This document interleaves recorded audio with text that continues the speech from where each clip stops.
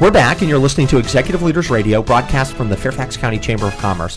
This is your host, Mike Mannion, with Sirius Interim Executive Solutions. I'm joined by my co host, Joe Applebaum of the Potomac Companies, and we are really excited to introduce to you our final guest of the day. His name is John Marks.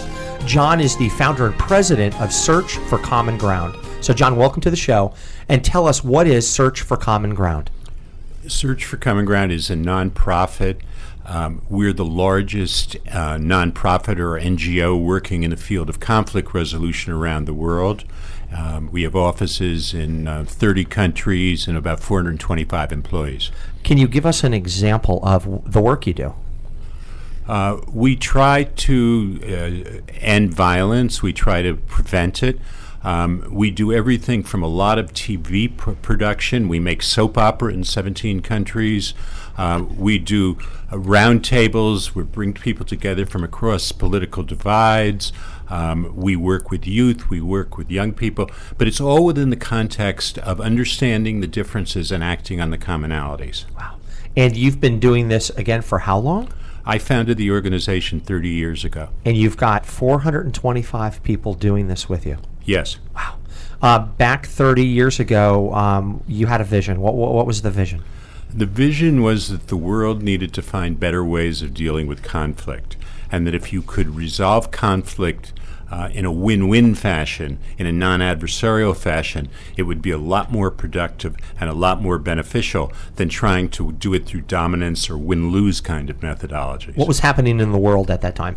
Well, at that point, the Cold War was raging. Um, there was a feeling that the world might blow itself up. The U.S. and the Soviets were facing each other as the enemy.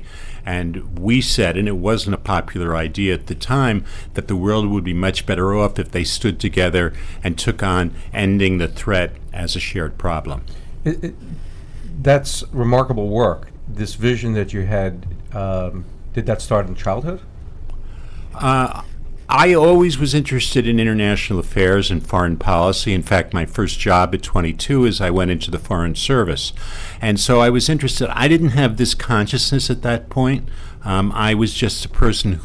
I kind of came in on the tail end of the Kennedy idea of ask not what you can do for your country, um, ask not what you can do in other words, that's not what you can do. do what you can for your country. I've got the, the quotes wrong, but the Kennedy idealism that you could be committed, and that that was driving me. But I didn't have the ideas that became the essence of Search for Common Ground until I got up into my 30s. Yeah. Well, what role did your father or your mother play in in your desire to create this organization to help conflict resolution? Yeah. My father was a highly successful entrepreneur. He built the largest insurance agency in America, and he had had to drop out of school during the Depression um, to support his parents. And I inherited, I believe, his entrepreneurial skills, but luckily for me, I grew up a middle class kid, perhaps an upper middle class kid, and I didn't have to make those kinds of financial sacrifices, if you will. But I had the talents from my father, and I think I inherited that more than anything else from him. Yeah. Uh, yet you said that going into the Foreign Service was an act of rebellion. H- how so? My father wanted me to go into his insurance business. He wanted me to be his son and his partner. And it, a lot of it was his self preservation in the sense because he knew when he was 65 if he didn't have a relative as a partner he would become redundant in the field and he wanted me very much to do it because he wanted what came lot, what he had built to stay in the family and he wanted to be able to keep working and um, I wasn't interested, frankly. I wanted to go out and see the world and change it. Was it difficult to tell your dad that? We fought about it probably for about 10 years. and when I started Search for Common Ground, he said, You can't afford to do this. You should go out and get a job.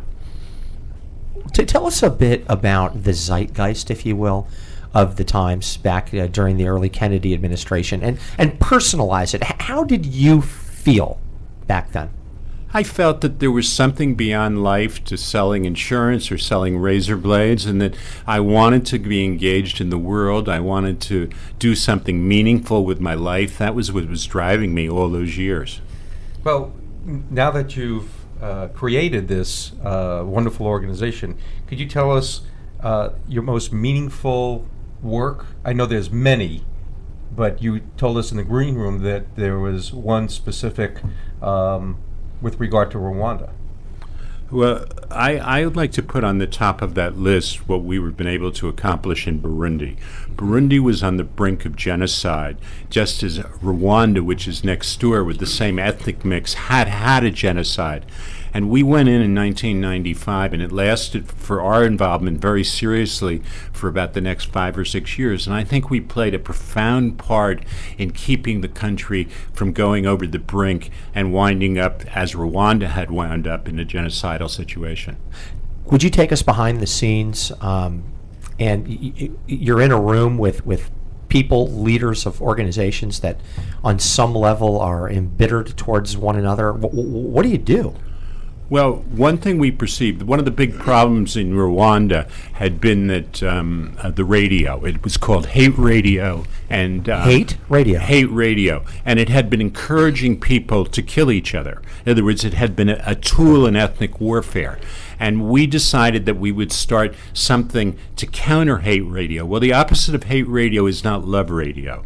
But we set up a radio which was sort of common ground radio, which brought people together from the two sides. We did um, everything from a lot of soap opera to the news to music. Uh, we had cultural programming. At the peak, we were doing 15 hours a week of broadcasting with both Hutu and Tutsi journalists and reporters. They were the ethnic groups. And the, it, the uh, whole thing of it was bringing those people into a meaningful media re- um, um, relationship and having the radio reflect their common ground, not their differences.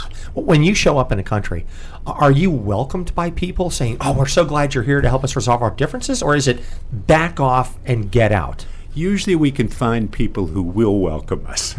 in other words, it's not universal. We sometimes we go in at an invitation, or sometimes we create our local partners. But there's always somebody in the country who thinks this is a good idea. At least. Are there situations, or, or tell us about one situation where it, could have gone either way? It, it was on the brink of maybe just completely dissolving and, and something terrible happening? Well, it happened to us in Angola. Angola, we went into because we thought the civil war was coming to an end, and we went in, and within about a year or two, the, the civil war got worse than ever. It became almost impossible to move, and many of the NGOs, non governmental organizations, were pulling out.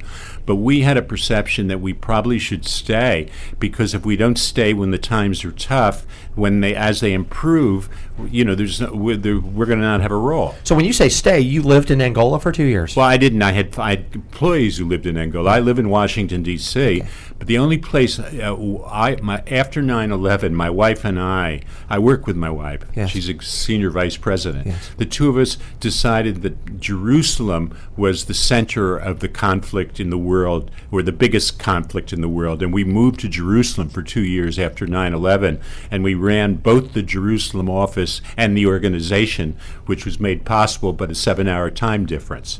In other words, we we ran Jerusalem during the day and the whole organization mm-hmm. during the night. Have you ever felt personally threatened? Sure.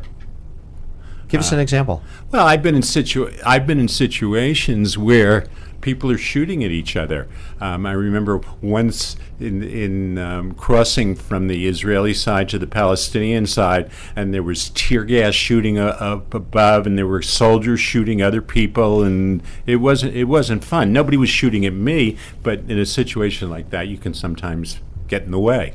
So why did you not just say, you know what, enough is enough, and I'm out of here. I'm, I'm going to save my own skin. Well, I, I don't take I don't take risks that are stupid, but this is what I do, and that was the, you know I I I would I crossed and I got out of the way, and that's what I do. Does that mean you know no fear, or you just deal with the fear and press on? Yeah, it's it's this is my job. This is what I do, and I. I'm not fearless. I've had the bejesus scared out of me.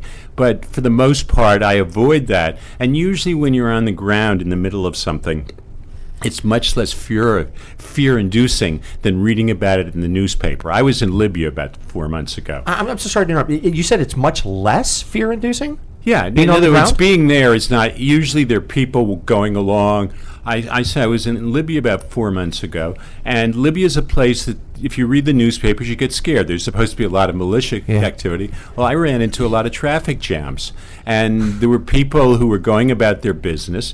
And usually, when you're in a place, I'm not saying there isn't violence, but it usually is not something that you have a sense of unless you're absolutely in the middle of it. The most meaningful contribution you would like to make moving forward before you, you leave this earth is what? I'd like to change the way the world deals with conflict. I'd like to become a global figure. I'd like the ideas that I have to take on a huge currency so they, they run the way governments and individuals interact with each other. Would you give us the web address for Search for Common Ground, please? It's www.sfcg.org. In other words, search for common ground. www.sfcg.org. Thank you very much. We've been speaking with John Marks. John is the founder and president of Search for Common Ground. I'd like to thank all of our guests today, including Sudhakar Shenoy, founder, CEO, and chairman of In- Information Management Consultants, or IMC, Steve Biondi, president North America of Microfocus, Nicole Geller, founder and CEO of GCS, and of course, most recently, John Marks, founder and president of Search for Common Ground.